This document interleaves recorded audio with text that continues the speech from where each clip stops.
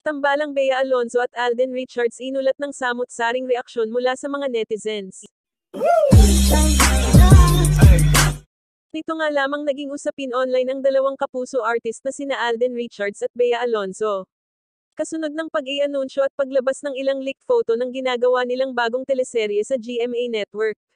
Ang bagong teleserye namang ito ay isang Philippine adaptation ng isang proyekto sa South Korea na Startup PH. Kudlit. Matapos nga mag-leak ang litrato ng behind the scene ng dalawa ay marami dito ang natuwa at na-excite. Dahil kung maalala ang ginagawa nilang adaptation nito ay naging numero uno at naging hit sa Korea man at sa ilang kalapit na bansa. Kaya naman marami sa mga fans na Pinoy ng mga Koreano ang inaabangan ito ngayon.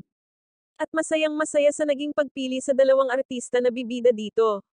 Gayunpaman kung ang ilan ay natuwa may manggilan-ngilan din ang kinu-question ang pagpili sa dalawa marahil dahil na din kaiba ito sa gusto nilang bumida dito. Dahil nga dito inulan ang leak behind the scene photo na ito ng samot-saring mga reaksyon. At mga komento mula sa mga netizens online. Narito ang ilan sa mga komento ng mga netizens. Di bagay ang role. Mukhang matro na si Bea. Ko lang ate Bea wag mo pansinin mga basher na yan, I know fit ka sa role na iyan kasi class ka na which is ganun dapat yung babae dyan. Agree. Hindi na may tago age, she's not right for the role. Miskas talaga tong show na ito.